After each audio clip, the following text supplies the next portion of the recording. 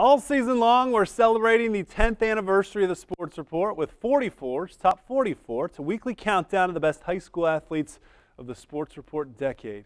Each week, we'll unveil a new athlete. Females on Thursday, males on Fridays. So we count down to the top high school athlete of the last 10 years. Countdown continues with the 42nd male athlete of the last 10 years.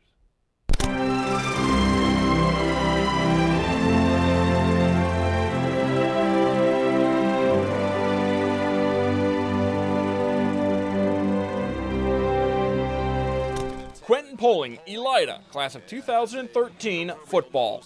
Two times first team All Ohio, three times All District. District Defensive Player and WBL Defensive Back of the Year in 2012, three times All WBL. For his career, 509 tackles, 20 sacks, 12 forced fumbles, and 9 interceptions as Q helped Elida to three straight playoff appearances, including a run to the state semifinals as a junior.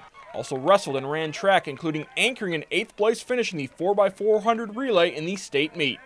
Coaches have to teach tacklers to run into people and then to run into them without slowing up, and then you got a great one if you can teach them how to run through people. Quentin doesn't mind running through people. He made a lot of tackles in high school because he wanted to. He wanted to more than he worried about making a mistake, more than he worried about getting hurt, more than he worried about anything. He just wanted to go to the ball, and that's why he's such a good great high school player and a very good college player today. He would take over games and he would drop into pass defense and intercept the ball. And then they put him at tight end a couple of times and he caught the ball. And of course, anybody that remembers him knows that he was really good in track too. That big old muscle bound guy running down the track. You know, you don't see that very often. This fall, Poling begins his second year as a starting linebacker for the Ohio Bobcats. Quentin Poling, number 42 and 44's top 44 male athletes.